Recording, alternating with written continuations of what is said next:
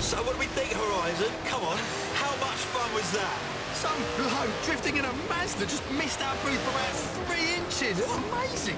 And there's plenty more where that came from. Just keep your ears open and keep listening to Hospital Records.